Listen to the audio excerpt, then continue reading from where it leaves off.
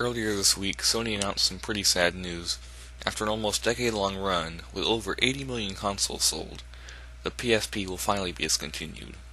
North America got its last shipments in January, Japan in support in June, and then Europe will be discontinued sometime later this year. I didn't really get that much time with the device, but it was a lot of people's favorite, so I thought it deserved to look back. PSP was in stores starting in 2004 and really changed the mobile scene. It set a lot of precedents in the mobile industry, including downloading games, having a web browser, and having the first analog stick. It was almost as powerful as the PlayStation 2 and it allowed a lot of AAA games to get console, get PSP ports.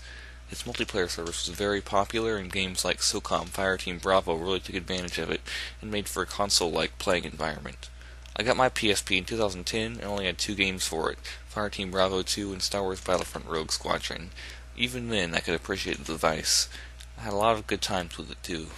Hopefully now that it's discontinued, Sony can make the PS Vita a winner, but only time will tell. This has been Buzz from Buzz and Dragon, with PSP a look back. Thanks for watching.